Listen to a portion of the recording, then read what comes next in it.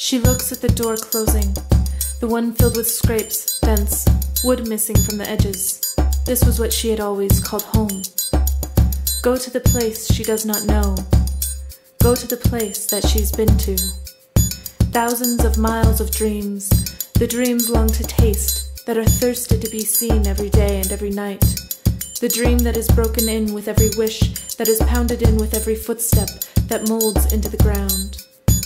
She wakes up to a pilgrimage, tattered, worn, longing, hoping that the gold of the sunrise will fill her with the emptiness of her bones, but instead only sand caresses her skin.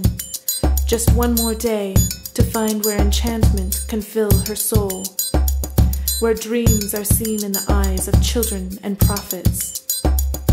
The promises for the end of the journey are there, and something she can't see, feel, hear.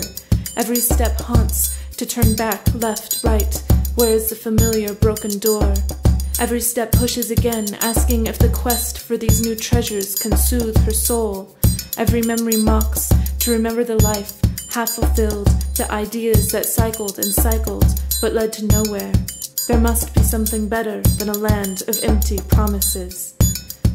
Journeys, thousands of miles away, an oasis of riches, long to drink from. Road is only a desert, with signs that promise an end filled with life, only seen in the light that heats her and stirs with its golden rays. This is the promise. This is the journey. This is where beginning will meet the end and flourish in the name of faith. This is the pilgrimage of spirit.